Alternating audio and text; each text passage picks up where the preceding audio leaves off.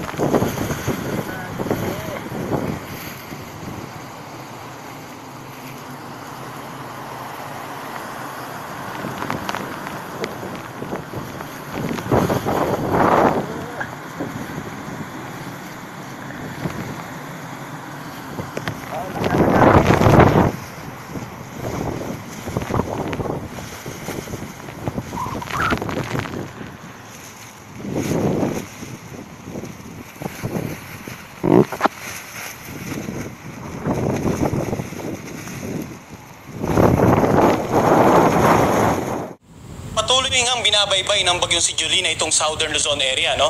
Kaninang alas 9 ng umaga, naglandfall na ito sa may bandang San Juan, Batangas. At ngayong alas 10 naman umaga, ito ay nasa may bandang Rosario, Batangas na. Taglay pa rin ng severe tropical storm na si Julina. Ang lakas ng hangin na umabot ng hanggang 95 kilometers per hour malapit sa gitna nito. At yung pagbugso, haabot ng hanggang 130 kilometers per hour. So ano nga ba yung senaryo na inaasahan natin dahil dito sa bagyong si Julina, no?